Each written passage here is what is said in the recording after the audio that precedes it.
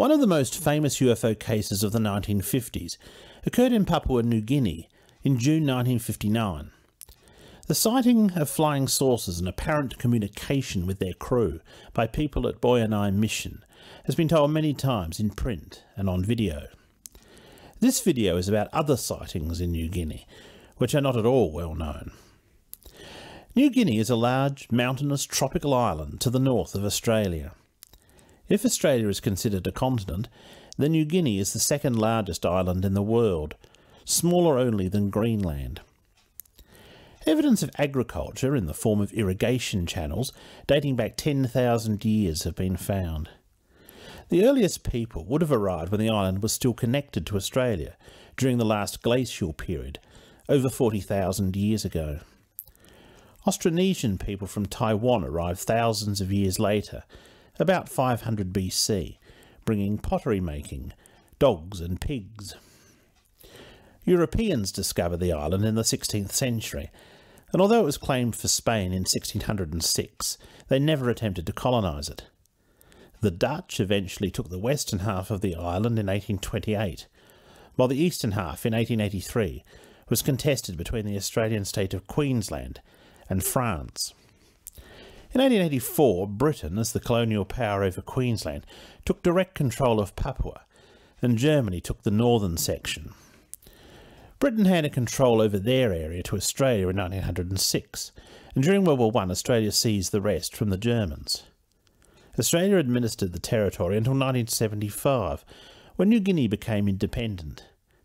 The Dutch half of the island, Irian Jaya, had meanwhile become part of Indonesia in 1963, which formally annexed it in 1969.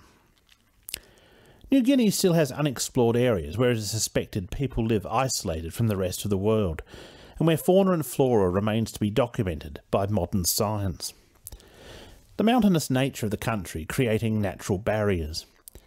At least 851 different languages are known to have been spoken here.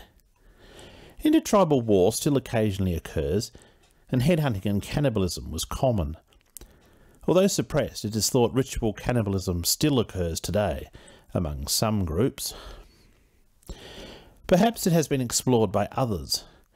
The remoteness and difficulty in communication would imply that if anything unusual happened in the rural districts, the outside world would be unlikely to hear of it. Most early reports come from Australians living in New Guinea. The first report to make an impact was a sighting by Tom Drury Drury had been a pilot and a flying instructor during the Second World War, before he joined the Department of Civil Aviation in 1949.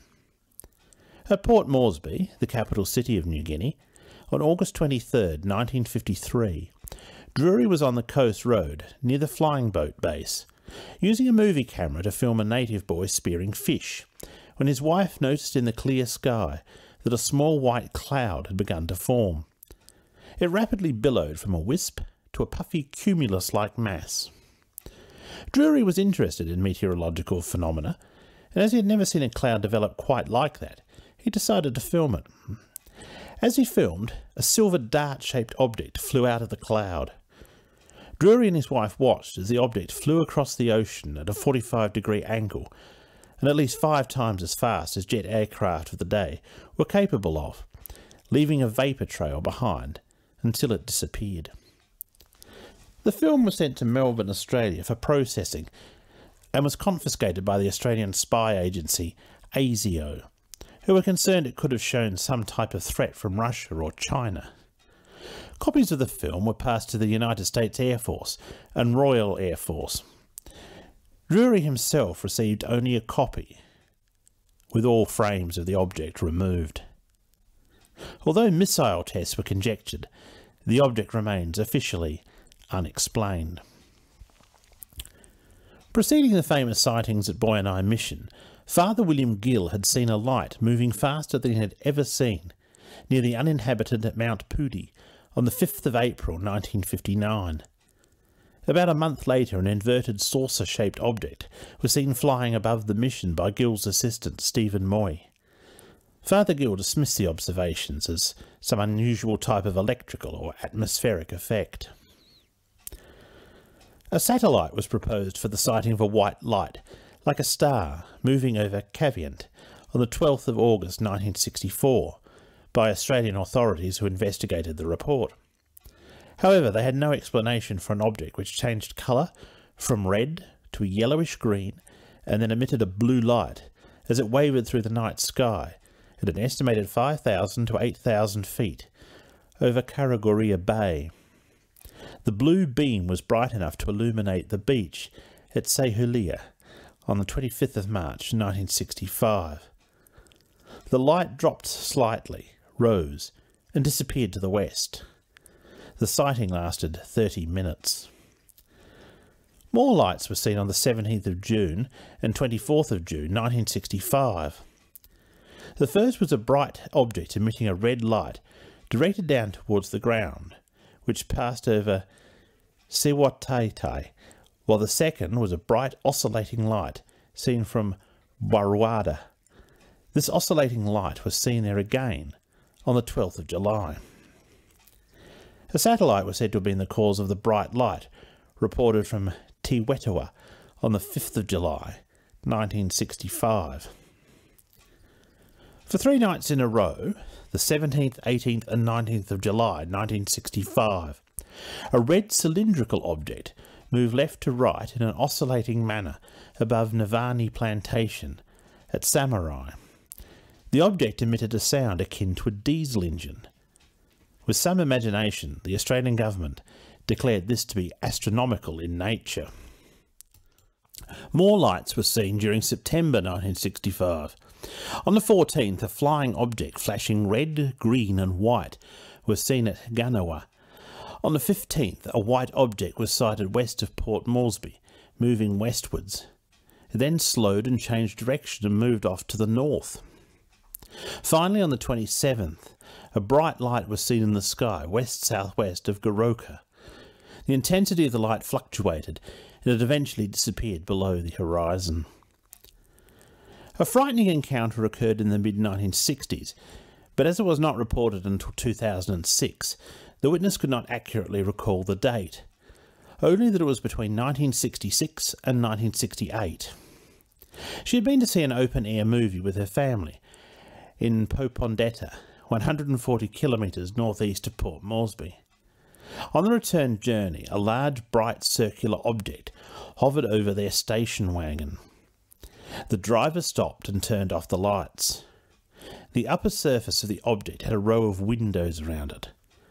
Suddenly there was a shaking and the object sped away. Another incident recalled long after the event was made public in 2018 by Patrick Nomos, editor-in-chief of the Nessian Nomad website, a site reporting items of interest to Pacific Islanders. Patrick's mother, who was 10 years old in 1967, along with her elder sister, were crossing the playing field of the primary school near their home on Buka Island on a still moonlit night in mid-1967. A large box-shaped object with two leg-like protuberances underneath passed overhead, just higher than the 30-metre tall coconut palms. It was silent and not illuminated.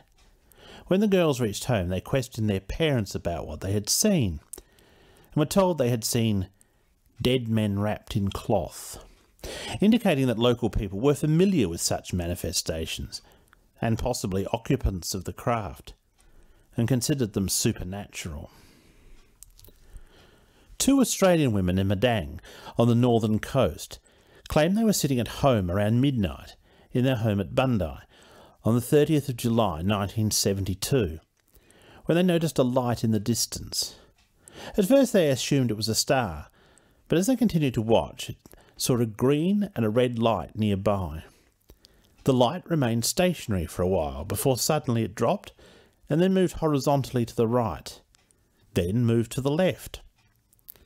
The two women continued observing the light for another 15 minutes before there was a flash of light on a nearby hilltop, and the light they had been watching disappeared. At Port Moresby on the 14th of July 1973, ten people saw unidentified objects in the night sky. The first witness was a 10-year-old boy named Kerry Terrell of Boroko, who saw a bright white light between 7 and 7.30 pm and called his mother Judith to the back door to look.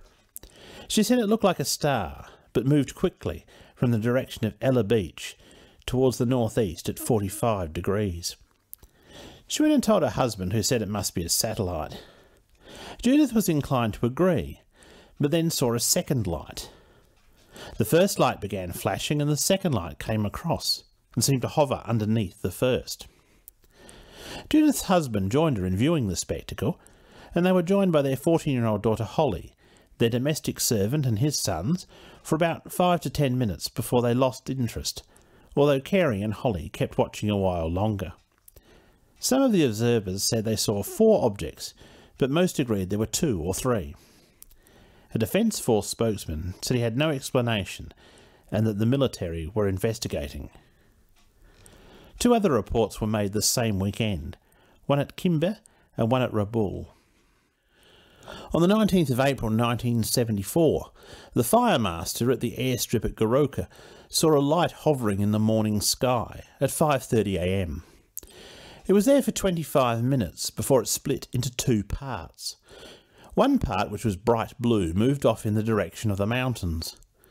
The other part went towards Benna. Then a married couple named Wheeler saw a bright globular light moving towards them steadily from the south side of the airstrip at about 6am, at the height of an aircraft. Flying was prohibited before 6.15am at Goroka. A few weeks later, commencing on the 2nd of May, witnesses at Lae began seeing sights that baffled them. A gardener who worked for Arthur Strawn, who lived at a property in Sturt Street, said that at around dusk on Thursday night he had seen a strange object in the sky. This was recalled the next day when a 50 yard strip of bougainvillea and other plants appeared burned and began to die off. The bushes were in a line on the side of the house closest to a flight path, and Mr. Strawn thought that fuel spraying out of an aircraft could have been the cause. An area of grass near the plants also turned yellow. At 10 pm on the 4th of May, a Papuan woman reported seeing a glowing object near the top of a palm tree. Soon after, another woman, Sally Willis, said the palm frond at the top of the tree was glowing intermittently with coloured lights. As the palm was near electrical wires and there had been heavy rain, an electrical phenomena was conjectured to be the cause. But as downpours were common, why this wouldn't happen more often was not explained. The death of the plants was blamed a few days later on a poison, sodium arsenate, which was used in the timber industry to kill termites. On the afternoon of the 2nd of May, a large drum of the poison, in powder form, had fallen from a truck at the corner of nearby Milford Haven and Markham Roads and broken open, spilling the powder across the road. Firemen had washed it off the road, which could have carried the poison down to the affected area. Later in 1974, a letter was published in the October 4th issue of the Papua New Guinea Post Courier, in which the writer described a sighting they had made on the evening of the 25th of September. The unnamed man was sitting in his garden on a clear, cloudless night, watching swallows hunting insects in the light of the half moon overhead. Then he saw what he took for a Cessna aircraft, flying into land at Wanigela airstrip from Collingwood Bay. But as he watched, he realised the object was brilliantly illuminated, noiseless, and moving quite slowly. He estimated less than 10 knots an hour in a northerly direction. He could only see several bright white lights in an ovoid shape, with two more on a tail. There was no fuselage. The object stopped and hovered, so the witness guessed it had to be a helicopter. Yet the lack of any sound puzzled him. After a few seconds it continued on its journey and passed out of sight behind some trees. He judged the craft to be about a quarter of a mile away and between 200 and 300 feet off the ground. Thinking about it, he knew of no aircraft which displayed such lighting and of such intensity coming into land. The next day, when local staff reported for work, some of them said they had also seen the bright object quite distinctly. When the witness's wife reported the sighting to the Department of Civil Aviation in the morning, she was told there were no known aircraft in the Wanigela area at that time. One of the most enduring mysteries of Australian UFO history is the disappearance of pilot Frederick Valentich and the Cessna 182 he was flying over Bass Strait on the 21st of October 1978, after he radioed in a report that a UFO was buzzing him. While this case is extremely well known, it's not so well remembered that another plane went missing near New Guinea at almost the same time. On Sunday, the 22nd of October 1978, a Britten-Norman BN2 Islander, with the pilot, 34-year-old Captain Michael Maynard, and 10 passengers aboard, vanished near Guadalcanal in the Solomon Islands. The plane was operated by the Solomon subsidiary of New Guinea's Talair It was on a routine flight from Bellona Island to Honiara, capital city of the Solomons. The pilot radioed that he was being forced to ditch into the sea. Other aircraft in Solair's fleet of five began an immediate search, soon joined by an Australian Air Force Hercules from Queensland and a French plane from New Caledonia. The aircraft was never found. Maynard was new to Solair, and the official report says he became disoriented in, the, in a storm and had turned back, but could not find Bellona Island before he ran out of fuel. Was the Solair incident, the first accident in the company's 10-year history, just a tragic accident? Probably, but considering the timing of the Valentich incident, interesting nonetheless. The matter of UFOs reached the Parliament of New Guinea on the 20th of February 1979. Mr Jeffcott, a former minister, and Mr Swoken raised the issue during question time, saying that there had been frequent sightings in recent months. These sightings were confusing and worrying village people in the central and western provinces, and in the Gusap Dumpu area of Madang province. Several sightings have been made in September 1978 and in December 1978, Air New Guinea tracked five unidentified objects on radar in the Gusap area. The Defence Minister, Mr Duabani, promised to his department would investigate and make a report. Early on the morning of the 24th of September 1980, six youths from Gaya village, 36 kilometres east of Port Moresby, committed an audacious robbery. They drove off in the private car of the police commissioner, Philip Buraga. At some time between 3.15am and 4.30am, Assistant Commissioner David Tassian, Superintendent Paul Tohan, and Police Public Relations Director Leith Anderson, who were part of the pursuit, saw a bright light in the sky. It was in a fixed position and was like a searchlight which switched on and off at two-minute intervals. The light varied from a faint glimmer to full brilliance, before dimming and going out again. Police checked with the aviation authorities, who replied that there was no domestic, international, civil or military flights over Papua New Guinea at the time. Mr. Tasian and Mr. Anderson said they had never seen anything like the unusual light before. About a week later, on the 1st of October 1980, a seven-year-old boy from Baruni village near Port Moresby revealed he too had seen a UFO, but he had also seen the beings who operated it.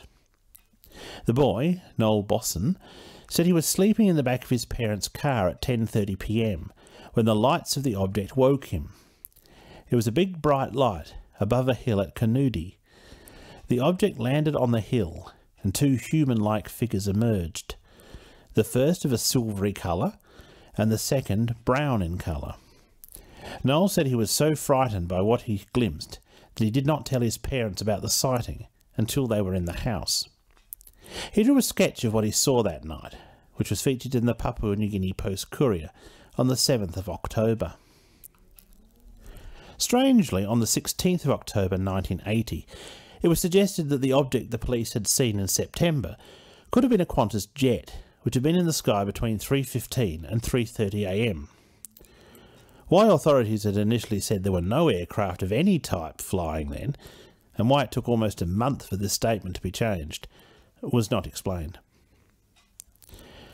Alex James, who lived in Pilla Pilla, New Guinea, reported a mass sighting at about 7pm on November the 6th, 1999. He had gone with four friends to Pilla Pilla Community School for rugby practice. On the way back to their village after dark, they saw some bright lights approaching. There were a lot of people about, some coming back from bathing, and others were sitting around eating their dinners. When they saw the lights, they all ran inside and locked their doors, except for a few who just stood and stared. As the UFO approached, Alex and his friends heard no sound. The street lights all dimmed, just like a torch when the batteries are failing. The object hovered over the coconut palms and looked huge. As it passed slowly overhead, the five friends were almost frozen as they watched it, feeling as though they could not move or speak from shock. The bottom of the UFO was oblong shaped, with very bright white lights all around the edges, and the top was like a pyramid shape, with bright white lights around it also. It was huge and took over 30 minutes to pass by. Alex checked the time. When it was hovering over them, it seemed to be as bright as day. The whole place was lit up like bright daylight. Then the object just disappeared in the direction of the mountains near Vuvu. This has been but a glimpse of the UFO past of New Guinea. Doubtless there are many more sightings of eerie lights in the night sky, and strange craft, and stranger incidents, news of which has never reached the outside world, but remain concealed in the dark corners of history.